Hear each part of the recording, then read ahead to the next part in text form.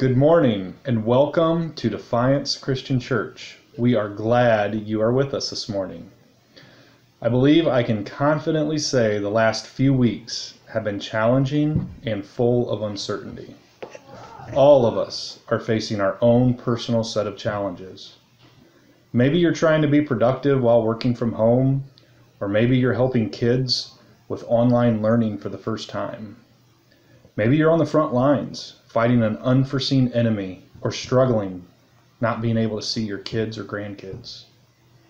Maybe you're laid off, or maybe you're just plain scared for our country, your friends, and family. 1 Peter 5 7 says, Cast all your anxiety on him because he cares for you. So, no, no matter what you are facing this morning, there is nothing that Christ can't handle. So let's come together and lift Christ up in worship this morning. Let's pray. Dear Jesus, thank you for this day. I hope we have a good dinner. Dear Jesus, amen. Amen.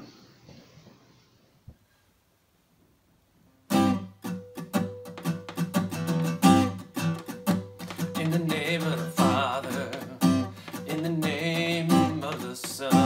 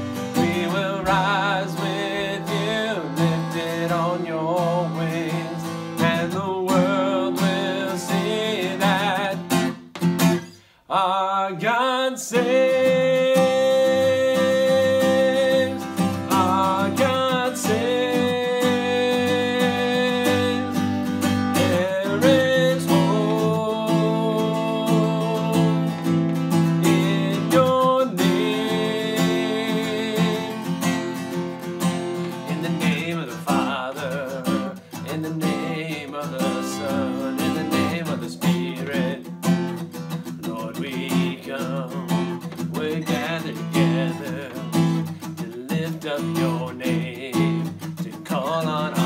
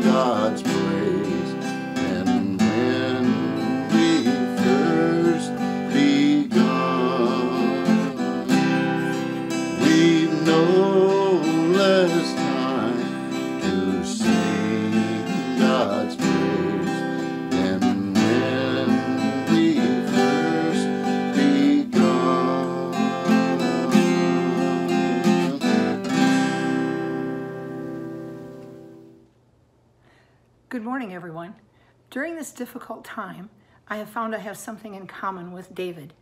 In Psalm 86, he says, Hear me, Lord, and answer me, for I am poor and needy. Guard my life, for I am faithful to you. Save your servant who trusts in you. You are my God. Have mercy upon me, Lord, for I call to you all day long. This reminds me of a song that I love. It's called I Need Thee Every Hour.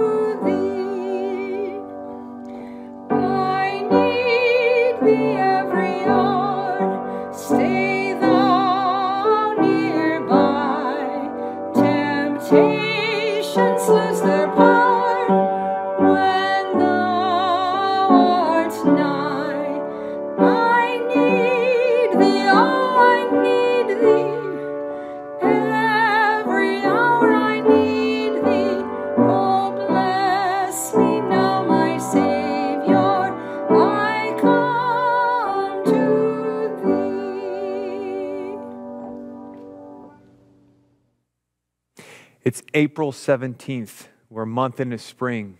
We're filming this on Friday, if you didn't know. Um, and it's snowing. It's snowing outside. It's, it's spring and it's, it's snowing outside. And it's actually, it's really pretty. It's a, it's a beautiful winter spring reminder of what God does to our lives and to our hearts after salvation. Though your sins are like scarlet, they shall be white as snow, as pure, innocent, as white as snow. Our sins, the sin sickness in our life, the guilt, the stain that sin lives in our life, leaves in our life, is gone because of what Jesus did. The forgiveness that he offers takes that guilt stain away. The new birth through the Holy Spirit makes us new, it makes us pure, it washes us white as snow. So as you come together as, as God's family in different homes across Ohio, Illinois this morning, be reminded that because of Jesus' forgiveness that he offers through the cross, our lives are made pure, white as snow. Our sins are forgiven. And I want us to remember that, to remember the gift that Jesus gave when he went to the cross. And so today we will celebrate communion together. And so I encourage you to get some, some bread, some juice, and take those emblems as a memorial to remember what Jesus Christ did. God, we thank you that your Son brings about forgiveness. That because of what your Son did on the cross, our lives are made new. That our sins are forgiven and we're made white as snow. We're pure. We're innocent. We have no guilt and no stain of sin because of the forgiveness from your Son. Thank you for that gift. May we never forget. In the name of Jesus, we pray. Amen.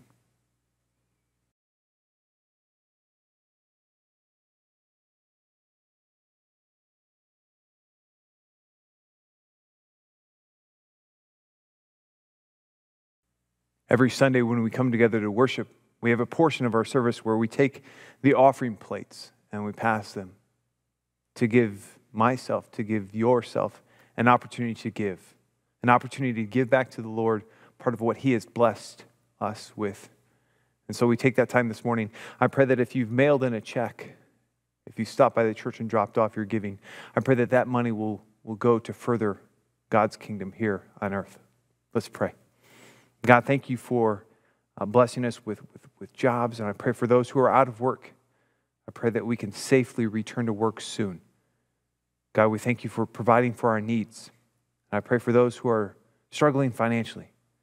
I pray that you will help them to be able to provide for their families and get back on their feet. God, I pray for your kingdom. I pray that it can continue to grow and that people will continue to know who your son is and find salvation in him. We love you, Lord. In the name of Jesus Christ, we pray. Amen. If you were asked this question, how would you respond? I'll give you whatever you want. What do you ask for? What would you say? If someone came up to you and said, Ask for whatever you want, and I'll give it to you. Ask for whatever you want, and I'll give it to you. It sounds kind of like the, the genie from the movie Aladdin. Maybe you're in quarantine and you've watched that movie recently. The, you know the story Aladdin finds the lamp and he rubs the lamp, and the genie comes out and says, What'll it be? You've got three wishes. Do you want to become a prince like Prince Ali Ababwa? What would you want? What, what are the what are the wishes? What would you what would you ask for? And this this actually happens. I don't think the um, spoiler alert. I don't think the genie and the lamp. I don't think that's a a, a truthful story. I, th- I think that's that's fun. It's fun, but I think it's made up. But this this happened. This happened. God came to Solomon and asked him, "Ask for whatever you want me to give you." and I'll give it to you. How would you respond? I would ask God for what? What would you ask God for? If God came to you and said, I'll give you whatever you ask for, what would you want? You've got one thing. What would you ask for? Wow. The choices, the options here. What would I choose? Would I choose money? Well, this is a sermon and we're in church. Of course, we wouldn't choose money, but let's be serious. Let's be honest here. Would you, would you choose, would you choose money? Would you choose power? I want to be, I want to be the most influential, important person in the world. Would you choose power? Would you choose fame? Would you choose good looks? Would you choose healing? Would you choose to get rid of COVID 19? To return to life as normal? What would you choose? See, God asks uh, Solomon this question in Second Chronicles, Second Chronicles, chapter one.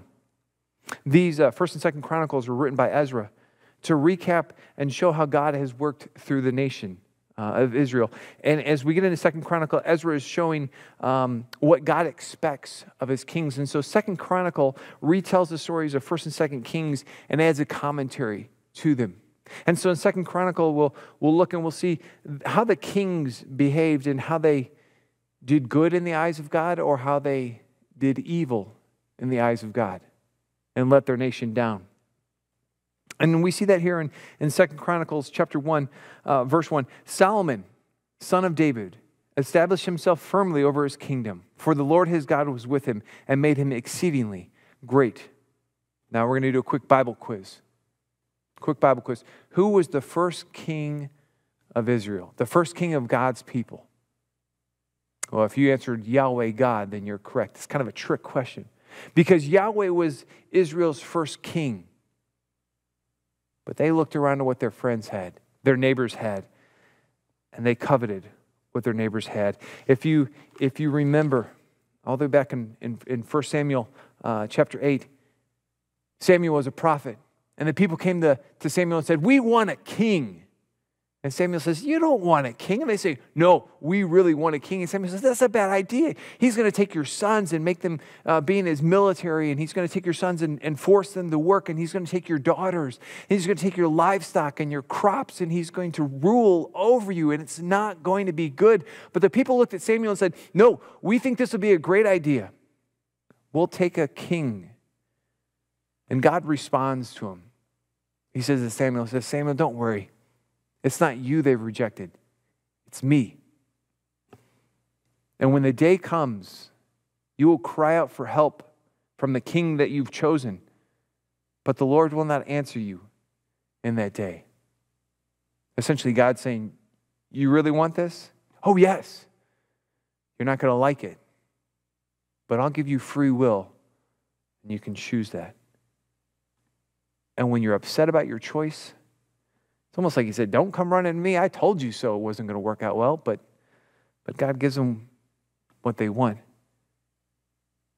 The people refuse to listen to Samuel. No, we want a king over us. Listen, then we will be like all the other nations.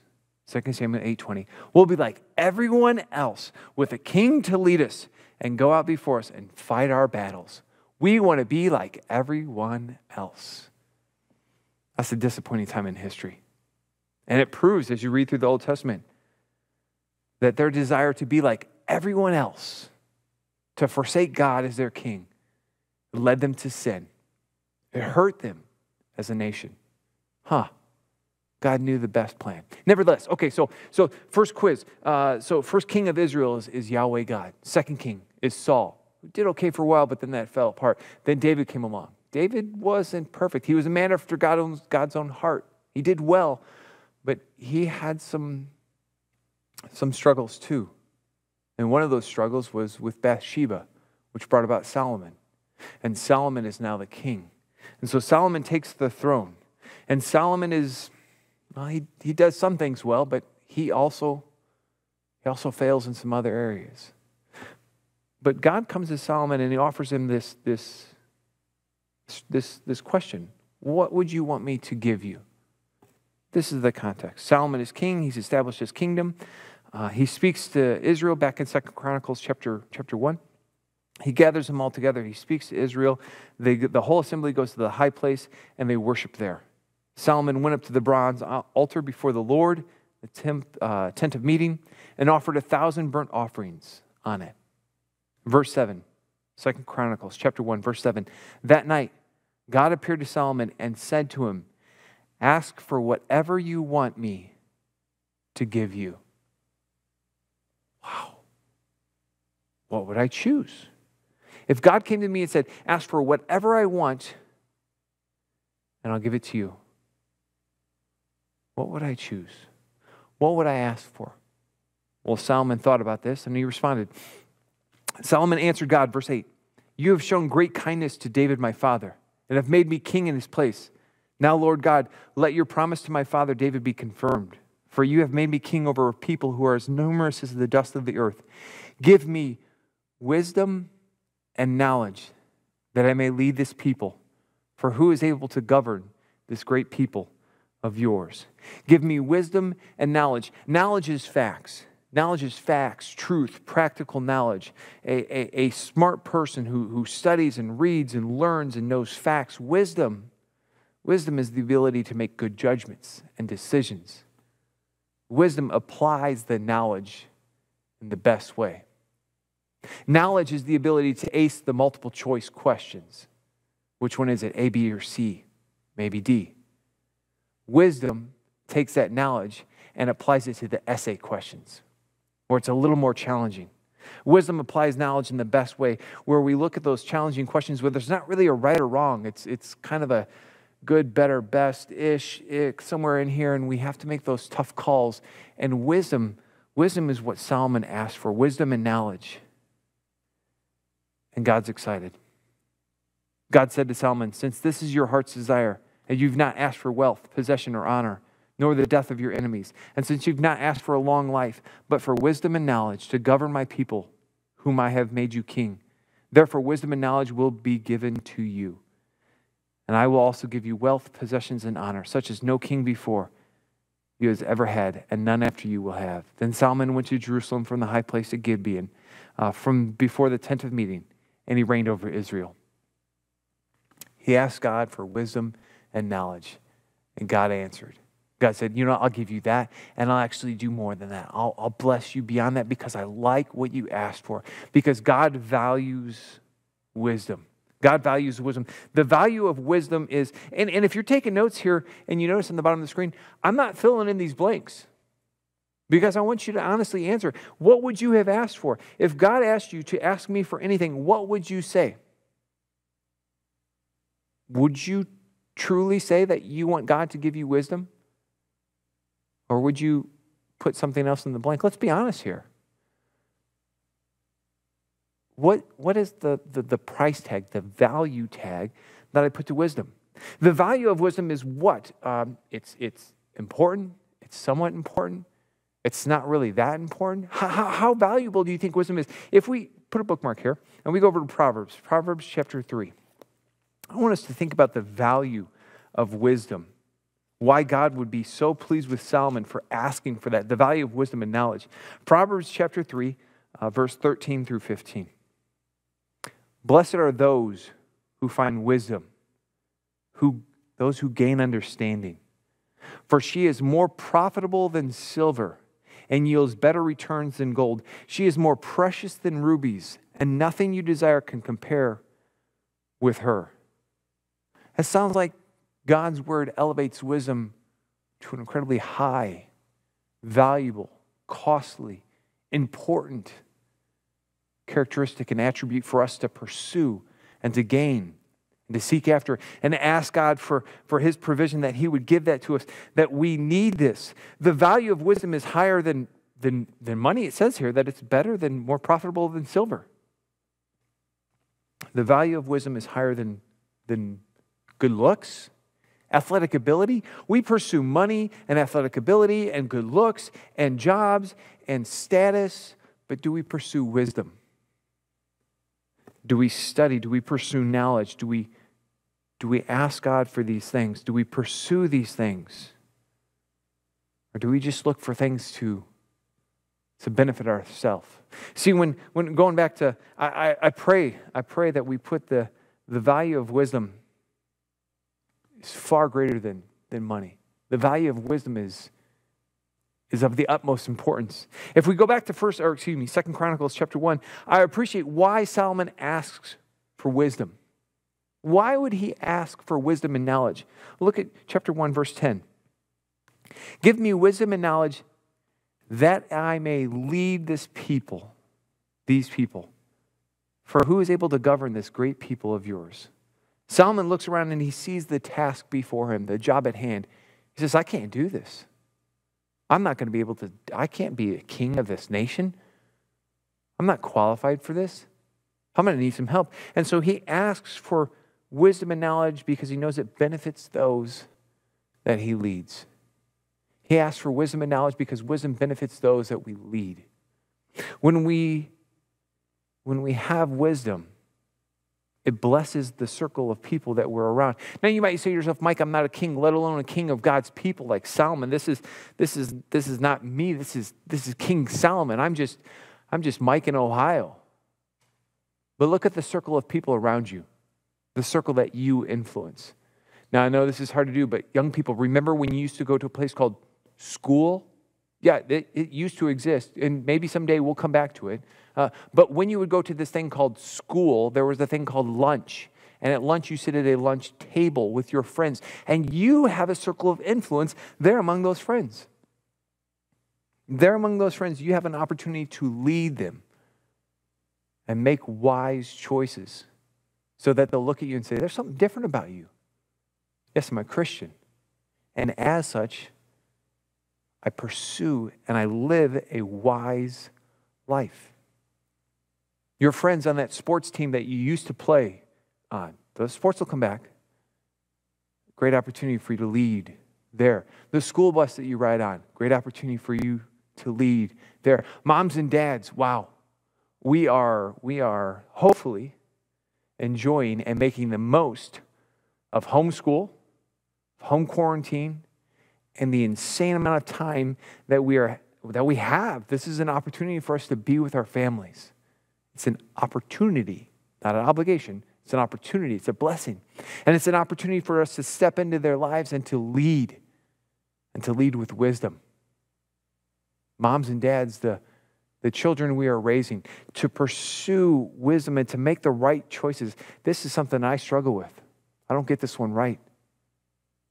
But to but to be a wise leader in my home. That's something that I desire. Grandmas and grandpas, to, to wisely lead your grandchildren, those around you. We will come back to your house. that sounds like a threat, but we will be back. We will come. We will fill your home for Thanksgiving dinner with all of our grandchildren running amok. We'll, we'll be back. We will. We'll make it. And we look to your, your leadership and your wisdom and how you can guide us. This is, this is the benefit that, that wisdom benefits those around us. Solomon asked for wisdom because he saw the job at hand. He looked at the nation before me and said, I can't do this. I need your help. Parents, do you remember that day when you first brought your child home from the hospital? And, and you, you looked at your wife, and, and I remember when we took Joe home, I thought, they're going to let us leave? Do they know how underqualified I am for this thing? I have no idea for this thing, for this child. I have no idea what I'm doing. You got this one. We'll see you at round two. And, and they're both alive, so we're doing really good. Okay, we're doing good. But talk about feeling underqualified. To pursue wisdom and knowledge so that I can lead and be a good dad, a good husband, I need to put the Bible at the forefront. I need to ask God to give that to me. And that's the good thing about it. If you're in first or excuse me, second Chronicles, put a bookmark here. And go over to James chapter 1, all the way back in the New Testament. James chapter 1, all the way back in the New Testament. Um, God tells us, He specifically tells us in His Word, James 1 5, to ask God to give you wisdom. To ask for it. James 1, verse 5. If any of you lacks wisdom, you should ask God who gives generously to all without finding fault, and it will be given to you. Now, it might not just magically come imparted to us and we're, we're, we're wise right like that. You might have to use the abilities that God has given you to study, to read, to learn, to listen to wise people, to surround yourself with wise people who you let speak into your life, to learn from their mistakes but we pray and we ask God to give us wisdom, and He'll give us wisdom. And that's His that's his words. That's his desire. He wants to generously give us wisdom so that we'll be able to make the right decisions in this, this global pandemic that we're living in. Uh, this, this, is, this is something that I think we need to be pursuing at the forefront is wisdom. The ability to, to, to make the right decisions, to ask for wisdom, to ask God to give us wisdom. That, um, oh, I, I do not envy the governor, Governor DeWine. I do not envy the president, the medical experts, uh, Fauci, Dr. Fauci, uh, President Trump, Mike, Dr. Or, excuse me, Vice President Pence. The, the, the responsibility on their shoulders to, to protect life and to stop this pandemic, and at the same time to answer the question of, of, of joblessness. Millions of Americans out of a job. I was talking with one of my friends, and he had to He'd used up all of his vacation time, and now he's unemployed. And vacation during a global pandemic is not, not very exciting. But that was the lead from his company. And it, I, was, I was disappointed. I, I'd, be a little, I'd be a little upset. I, what's, wow, what's the right thing to do here? What's the correct decision to do here? So, so as, as, as people, as Christians, we need to pray that God will give us wisdom. And I think we need to be on our knees, praying diligently and asking that God would give our leaders of our country wisdom. What is the right, the correct thing to do right now? Because before them, I don't see an A, B, or C, or D, or a true and false questionnaire. It's not that simple. These are challenging questions good, challenging questions that we need wise leadership. So we, we, church, need to be praying that our leaders will be surrounded by godly men and women who have a wise and knowledge, a Christ led heart that makes the best choices. And we need to be praying for that. In the middle of this economy, uh, this, this pandemic, who should we listen to? What will church look like? We hear lots of complaints and lots of suggestions, but what is the best thing? We had a, a, a board meeting the other day, and we were talking about what church will look like when we're out of this, this lockdown. What will it look like the first time we come together? Well, first off, I'm going to apologize if I forget your name because uh, I haven't seen you for two months. Hopefully, I won't. Uh, but my name's Mike. Nice to meet you. Uh, but, but what will it look like when we come back, when we get to meet together as God's people in His house collectively and worship together? I'm excited. I look forward to that day. I don't know about you, but I'm looking forward to that day. But what will it look like? What will be the new wise thing? I, I think about the old Western movies. You remember the old Western movies? when you'd have the, the guy who was a, a, rancher, and then you'd have the guy in town, and the rancher comes to town with, with six cows, and he wants to sell some of his cattle. And so he's talking to this guy who's going to buy them, and he's going, "Oh, I'm going to sell these cows for this much money." And the other guy goes, "That's a that's too high. I want you bring that price down." And so they haggle the price down. And they finally they, they agree on the price, and he goes, "Okay, the cows are yours for this much money." He goes, "All right, here's the money." And he goes, "Put her there," and he puts his hand out. What's he doing his hand? In those old Western movies, you remember? You get a little, and you put it in your hand and you shake hands on it. Spit in your hand. I'm glad that that's something uh, that as a society we have left behind. That, that, that needed to be left behind. Uh, at the end of, of 1 Peter, there's a verse where it, it, talks about greeting each other with a holy kiss. Again, something culturally that I'm glad that has been left behind. But what will the future of the church look like? Like one of my favorite things about being here at church is, is, is welcoming people. Hi, welcome to Defiance Christian Church. And shaking people's hands. Note to self, I don't spit in my hand before I shake hands, okay? Except for one person. No, I'm totally joking. I'm totally joking. But, but will handshakes be gone?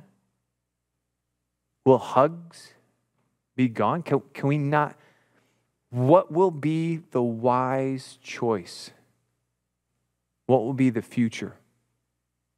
I met someone the other day and I was talking with him and, and he put his hand out to shake my hand.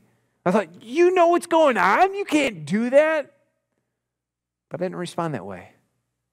I just shook his hand. I introduced myself. I acted pre COVID. And the kids were watching. They were watching this, this whole thing unfold, and their eyes just got huge and like, Dad, no way. I can't believe you're doing that. I said, Don't worry, don't worry, don't worry. Because when he left, I went inside quickly and like I washed my hand. But what will the future be like? We need wisdom. We need godly knowledge. We need to know what the future will look like. We need to ask God for this. And we need the strength to apply it. Ask God to give you wisdom and give you the strength to apply it. I think, I think this, this pursuit of godly wisdom is applicable all the time in our life. That we know the right choice, the right decision to make. But especially at this time during this, this, this COVID uh, 19. But I think we need the strength, the, the strength to apply it at all times. Because if we go back to that verse in, in First Chronicles, uh, excuse me, Second Chronicles chapter 1, um, the rest of the story there, as Ezra's finishing up talking about um, Solomon's life, God asked him, What do you want? And, and Solomon says, I want wisdom. And God's like, That's a great answer, great answer. And, um, and he blesses Solomon. But look at verse 14, 14 and 15. Solomon accumulated chariots and horses. He had 1,400 chariots and 12,000 horses, which he kept in the chariot cities, also with him in Jerusalem. The king made silver and gold as common in Jerusalem as stones and cedar, as plentiful as sycamore fig trees in the foothills. What's the problem with that? Well, goes on later to talk about how he imports and exports these horses and these chariots. See, Solomon's day, horses and chariots, that was a battle tank. That was military power. And Solomon's in the middle of an arms race, selling military strength, selling weapons. If you remember the first king of Israel, who's the first king of Israel? It's Yahweh God. And who fights for Israel? It's God. But now Solomon's doing just like the people and looking around him and saying, well, what do you got? Oh, you got horses and chariots. Well, I want horses and chariots. And so Solomon compromises and he starts to collect horses and chariots to put his trust in horses and chariots. I thought we were supposed to put our trust in, in God, but some put their hope and their trust in horses and chariots. He, he puts gold and silver as common as the stones. Money and expensive things are just everywhere. Is that the way that we should treat money? Uh, go in your Bibles, go to 1 Kings, 1 Kings chapter 11. this is, uh, this is one of the one of the big disappointments about King Solomon's life. The wisest man ever, but I don't think he had the strength to apply it, or he was too focused on one area. I, I don't, I don't know. I don't know what, what happened, but something happened and it went downhill bad and fast. Little compromises. Look at look at 1 Kings 11. Now remember, 1 Kings tells the same thing as Chronicles does. They're just repeating the same story. 1 Kings 11 1. King Solomon, however, loved many foreign women besides Pharaoh's daughter Moabites, Ammonites, Edomites, Sidonites, and Hittites. They were from nations about which the Lord had told the Israelites, You must not intermarry with them, because they will surely turn your hearts after their God. Nevertheless, Solomon held fast in love with them. He failed. He pursued military power and horses and chariots. He pursued women, and they turned his heart from God. And he pursued money. If you go all the way back, all the way back to Deuteronomy, Deuteronomy chapter 17. Now, this is before Solomon. This is before Solomon. This is when they're getting ready to go into the promised land. Deuteronomy chapter 17. When you enter the land, chapter 17, verse 14. When you enter the land the Lord your God is giving you, and you've taken possession of it and settled in it, you shall say, let us set a king over us, like all the nations around us. Be sure to appoint over you a king the Lord your God has chosen. He must be from among your fellow Israelites. Do not place a foreigner over you, one who is not an Israelite. The king, moreover, must not acquire a great number of horses for himself, or make the people return to Egypt to get them. Well, that's exactly what Solomon does. For the Lord your God has told you, you're not to go back the way that you came.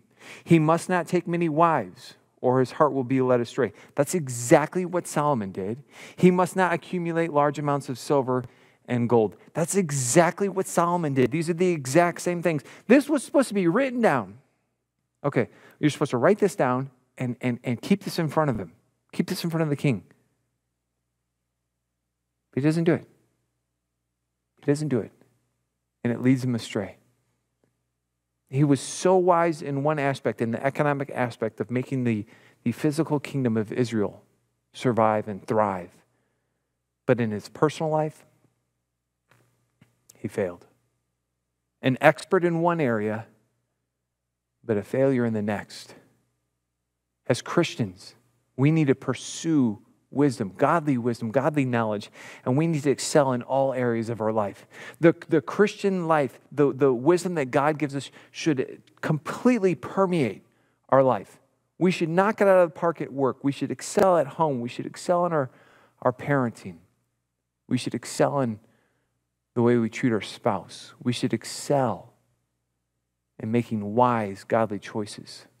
I have a lot of work to do, but I'm not giving up. I want to make the best choice possible. And so I'm going to ask God for wisdom. Now, during this time of this global pandemic, and when we leave this time, we will. We'll overcome this.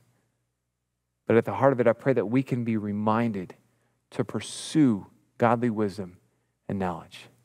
God, thank you that you give that, that wisdom and that insight and that understanding to us. And I pray that we will be able to learn and lead and apply that in our life to put that into my personal life as well. We thank you that you give generously to us. In the name of Jesus Christ, your Son, we pray. Amen. Church, we have, um, we have lots of opportunity right now to make a difference. So I pray that, um, that we can use this opportunity to do that, to make that difference. And uh, one family this week, they contacted me and they said that their son would like to be baptized. And so they came this week, and we kept our social distancing, don't worry. And uh, Clayton Cottrell uh, put his faith in Jesus Christ and was baptized. So I pray that you will uh, be encouraged. Uh, and, and the next time we see this family, encourage this young man as well as he pursues his faith in Jesus Christ. And, and if, if you've never made that decision, if you've never made that decision, listen, we will work out the details.